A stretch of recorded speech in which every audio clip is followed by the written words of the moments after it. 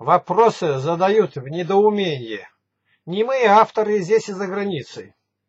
Они исследуют, мудруют, но в сомнении. Один из них — великий Солженицын. Он патриарх, учитель для собак. По радио и часто в телевизор. Передо мной его архипелаг ГУЛАГ и зэк Иван по батюшке Дениса.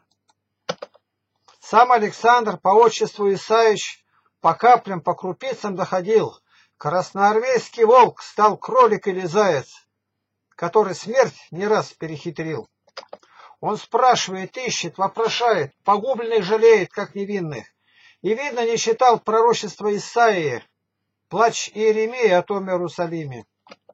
Учитель дорогой, страдалец и изгнанник, евангельскую веру и спроси, Тебе, читателям, тогда так ясно станет, в чем смысл трагедии архипелаг России. Лауреаты умницы, каких почти не сыщешь. Нам не пришлось интимно рассуждать. Мой стол иной с библейской чудной пищей. Евреев много также, но ни одного жида. Вопросы ваши детские смешные, они давным-давно отвечены у Бога. Все за грехи такие же, как ныне.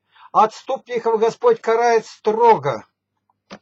Да, автор сам историк и статист, свидетелей память так удачно использовал.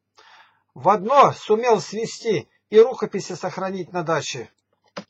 Сверхгениально. Но слепой ребенок нуждается всегда по водыре. Архипелаг ГУЛАГ начитан мой на пленке и на компьютер. Осень на дворе. 17 июля 2003 года.